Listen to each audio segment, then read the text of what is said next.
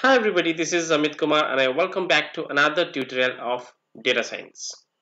In this tutorial, I will give you a deeper understanding of the schemas. So there are two different type of uh, schema. Schema is basically the pattern of designing of the tables or the data model. Overall, there are two different type of uh, schema.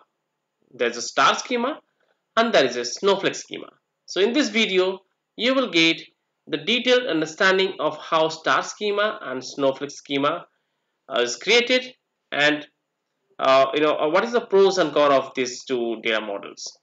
Okay? So if you are new to the uh, channel i would request please subscribe this channel like the video to stay connected with me. So let us continue. Yeah. So you see here this is our legacy database structure if you see here diagram these are tables. There's a supplier table product table category table. So these all tables will be using in our training also okay? This is the relations. Customer table is connected with order order to product. This is one to many relationship. And uh, order to order detail and order detail has product and then supplier and blah blah blah. So they are interrelated. There is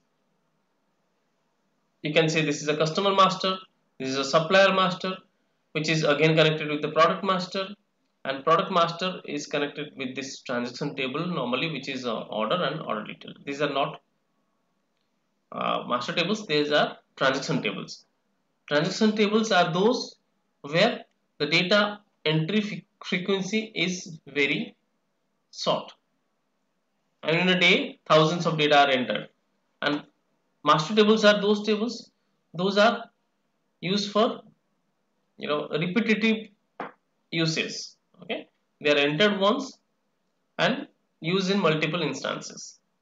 The data into the master table are very rarely added. Okay so this is a normal practice of our transaction database.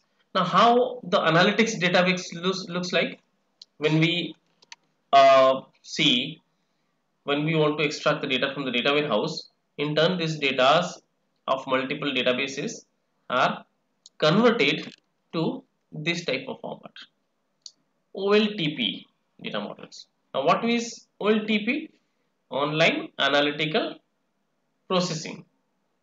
And same way online transaction processing.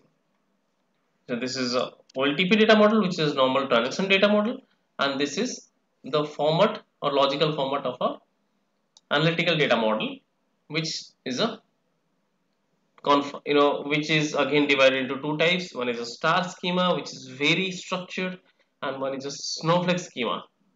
Snowflake is structured but some you know datas are having further master tables. Further connected to master tables or lookup tables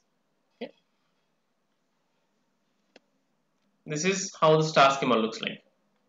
So this is a sales table which we consider as a transaction table where the data entered very frequently.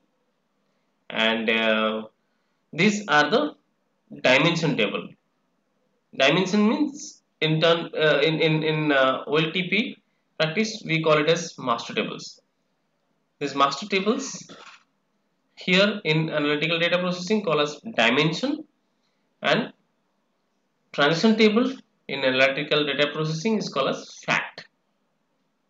So when we try to create a report or analytics, we have to find the fact. Fact means what you want. This is, is a fact. To answer a question, whatever your answer is, that's a fact. So fact is what is the number of customer? That's a fact. What is the total sales? That's a fact. What's the total margin? That's a fact. So all those type of answers or all those type of attributes are mentioned over here in the fact table.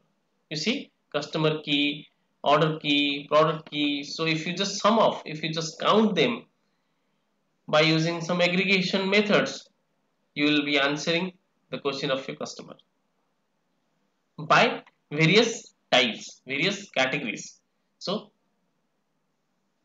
so order by customer. How many customers are placed? How many orders? In that case customer details will be pulled from this table and product details or order detail will be correct called from this table. So this is more structure why it is called as star? Because one fact table just try to correlate this. Fact table is a kind of a transaction table. One fact table is surrounded by multiple dimension tables those are kind of master tables so those master tables or those dimensions table do not further associated with any other master tables. Are you able to see they are connected to any other master tables directly? No. They are connected to fact tables. But if we see a snowflake schema which is most widely used, this is how it is. This is a sales which is a transaction table sales fact and then this is connected with the customer table which is a dimension. Again customer is also connected to another dimension table city. City is connected to another dimension table state and state is connected to country.